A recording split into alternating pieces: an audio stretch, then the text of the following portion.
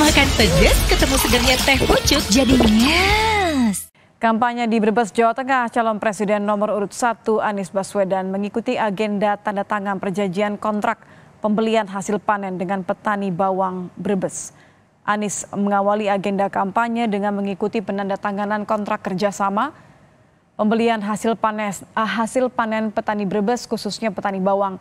Penandatanganan kontrak ini dilakukan di Lapak Bawang Larangan Brebes, Jawa Tengah. Terlihat para petani dari berbagai kelompok tani ikut menyaksikan penanda tanganan ini. Saya ingin minta, saya ingin lakukan pertama kali. Ini pertama kali dikerjakan. Kita mulai kontrak pembelian. Bapak, betul poin betul.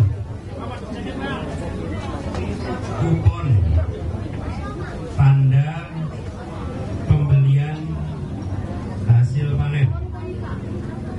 Ini nanti dipasang di